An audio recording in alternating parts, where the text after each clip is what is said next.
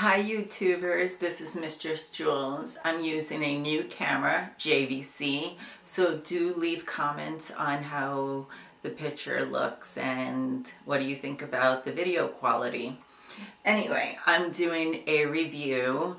I will be putting up a full-length clip on Clips for Sale, uh, Mistress Jewels, and I'm going to be previewing um, these boots. I'm going to do a boot collection because of winter and then I'm going to head into my red shoe collection and then from there my summer shoe collection.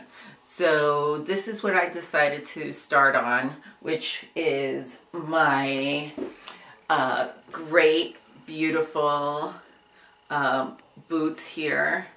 Um, they actually go up to your ankle. Um, they're about, I think they're, these, this is about six or seven inch heels. Maybe even eight. I'm not even sure.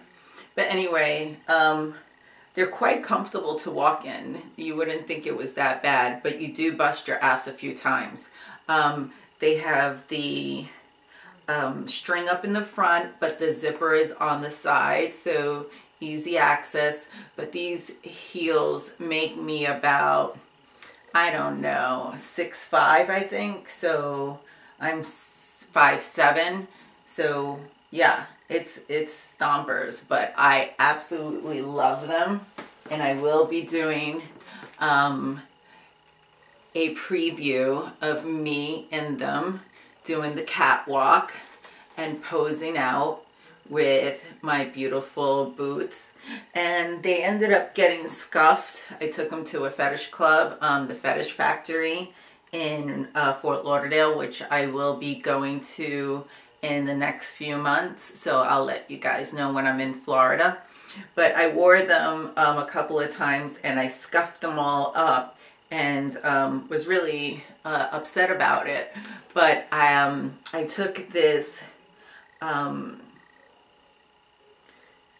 this product that they sell at the plumbing store or Home Depot and it's made for rubber where you can dip your rubber tools in it for the handle. Well, I painted them rubber and it looks fabulous. And um, I don't know. If I get bored of that, I might put the rhinestones on them and make them really cool. So that's the first set of shoes that I will be previewing on Clips for Sale.